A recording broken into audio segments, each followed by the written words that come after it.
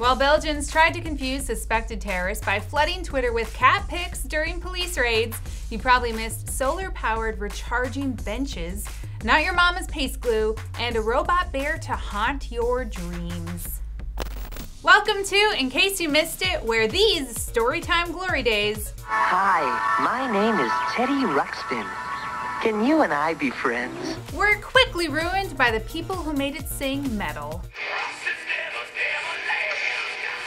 Imagine that Teddy Ruxpin can talk to you, but also reply with artificial intelligence, and hey presto, you've got the Diro.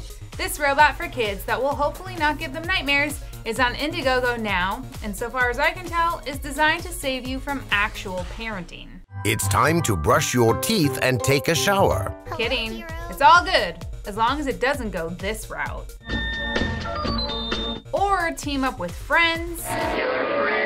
Or be trained to hold a knife like this Octo robot. I appear to have invented a knife wielding tentacle. Just forget it. From things that might kill you to try not to kill the planet, check out these solar benches just installed in London.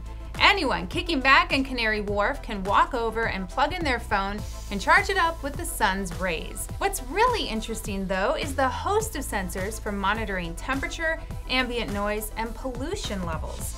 Its integrated battery runs for up to two weeks without being recharged, which is bound to be important in London's soupy fog. Real gross. Elmer's had better look out. Researchers just cooked up not one, but two new glue formulations. First up, Osaka Institute of Technology in Japan's powdered glue marbles, which are neat because they form a paste when squished, perfect for those hard to reach places like inside cars or smartphones. Meanwhile, MIT's geniuses came up with a 90% water hydrogel formula that can act as flexible joints and even conduct electricity. This obviously spells trouble for those sticky geniuses at 3M, but could be useful for Romy and Michelle. What are you up to? Okay, um, I invented Post-its.